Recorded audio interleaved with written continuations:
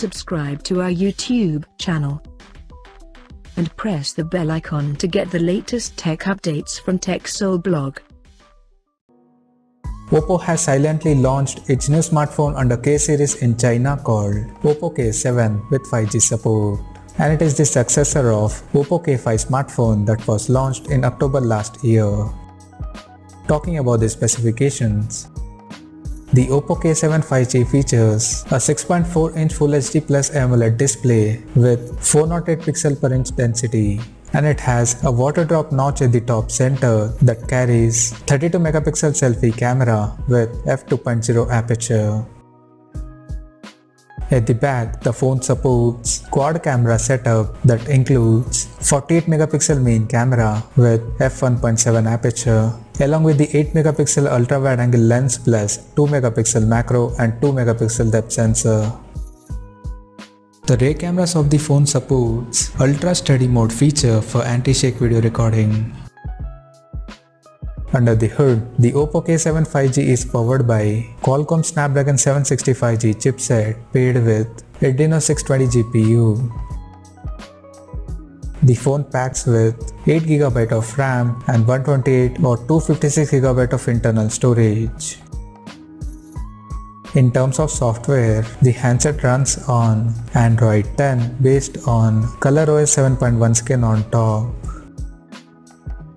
The device comes equipped by 4025 mAh battery that supports 30 watts fast charging.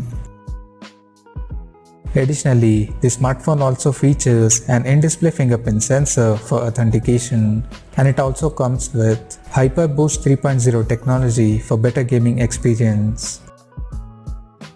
The connectivity option on the phone includes 5G, dual band Wi-Fi, Bluetooth 5.0, GPS, NFC, 3.5mm headphone jack and a Type-C charging port.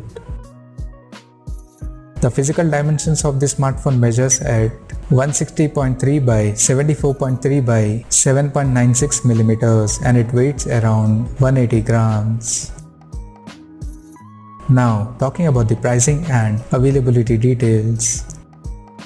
The Oppo K7 5G has been priced in China for 8GB plus 128GB storage variant at 1999 Chinese yuan, while the 8GB plus 256GB storage option is priced at 2299 Chinese yuan.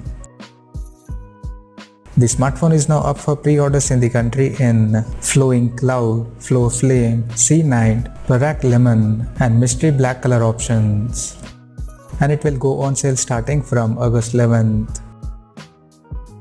So what do you guys think of this Oppo K7 5G smartphone?